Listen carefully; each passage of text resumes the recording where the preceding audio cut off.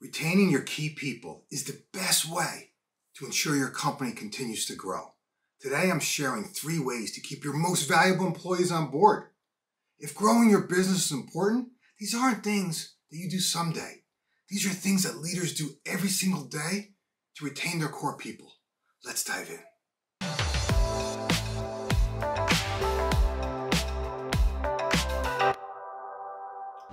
Have a habit of studying successful companies. And the one thing I've noticed is that those growing the fastest put a ton of emphasis on employee retention. Retaining your top employees is a leadership priority.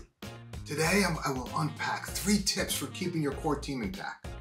Before we dive into that, I want to highlight an important retention strategy that doesn't require the same amount of time and energy for us to unpack that is pay them well. See, one of the most obvious ways to retain your best employees is to offer them better than average salaries and excellent benefits. I learned this early in my career when a mentor once told me that everyone uses money as an excuse. So his strategy was to simply eliminate the excuse. Some would say he overpaid his team, but he never once believed that. See, he didn't want anyone on his team to ever look over their shoulder and worry about money. He wanted their, his entire uh, team's time and energy focused on driving the business forward. The moral of the story? Pay your best people well so money is the last thing they think about. Okay, now that that's out of the way, let me share three tips for retaining your key people. The first one, assign valuable work. Your best people want to know their work matters. Give your best employees something important to own and sink their teeth into.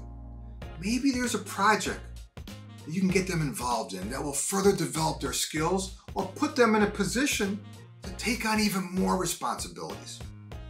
When you do, manage the result, not the individual steps. Let them own the details. See, this empowers your best people to make decisions and encourages them to explore, experiment, and discover new solutions. Give them the space to figure out how to solve issues themselves.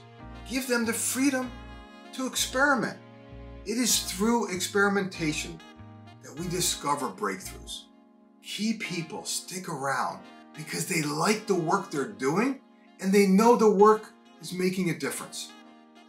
The second tip is this give your team a voice. See, the best employees all want to have a voice. They want an opportunity to offer their insight and thought leadership. Easiest way for you to do that is just solicit their input and feedback.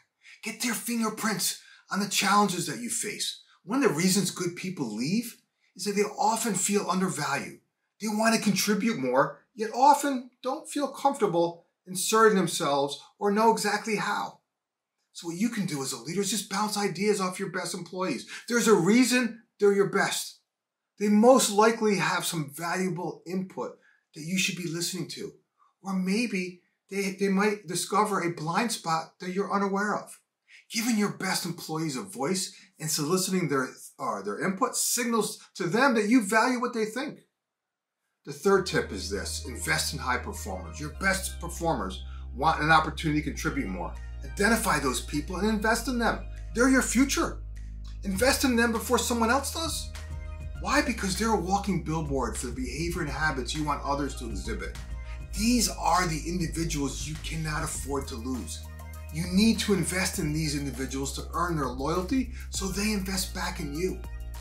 Professional development is extremely important to high performers. Give them a permission slip to sign up for training. This is key because even if you're a great leader, your best people will eventually leave if they don't feel that you're invested in them and their careers. Don't overcomplicate leadership. These are simple things that every leader can and should do daily.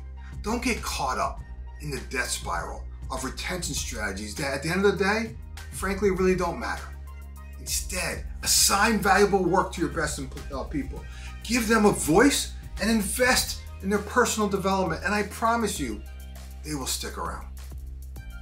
If you want more leadership insight, I would like to buy you a copy of my book, Freedom to Experiment. how to ignite a new level of energy, focus, and momentum in yourself and your team. Follow the link in the description and I'll personally sign a copy for you. If you find yourself like being just tired, being buried in the weeds, and just you want more time back, maybe you want to do less micromanage, you want to have a team that can actually lead so you can focus on strategy and growing the business, then go to clevelfreedom.com and I'll share with you how to transform your mid-level leaders into growth champions so they free up your time to do to focus on doing what you love, which is growing the business. Okay, if you like what I shared today, do me a favor and give it a like, drop a comment below, and of course subscribe because each week I'm sharing content to help you and your team embrace change, focus your efforts, and accelerate results. Remember this, you're just one idea away. We'll talk to you soon.